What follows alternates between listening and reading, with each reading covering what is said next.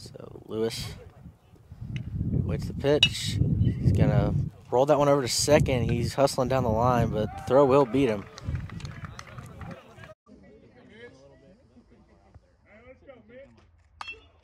Sure, at second.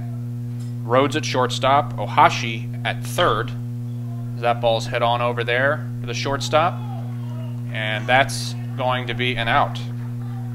Or excuse me, single to left center earlier in the day and then double to left. Makes contact there again over to Rhoades, who will throw it on over to the first baseman Cameron Duke. And that'll be out number.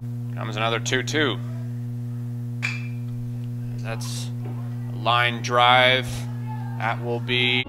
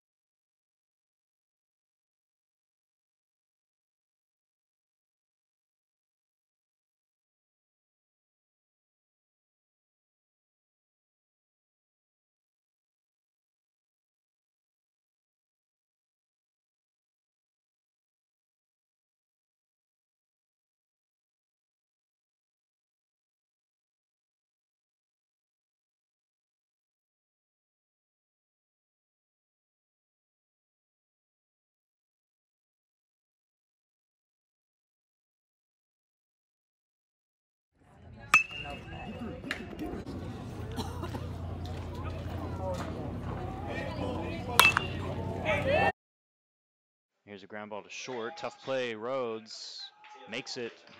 Nice strong throw. Good play ranging to his left for out number one.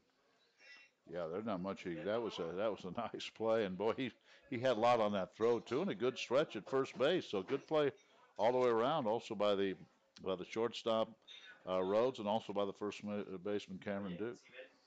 Well, that brings in. Looks like it hit Simon and yeah. then rolled right to Rhoades, who stepped on the bag, threw to first for the double play.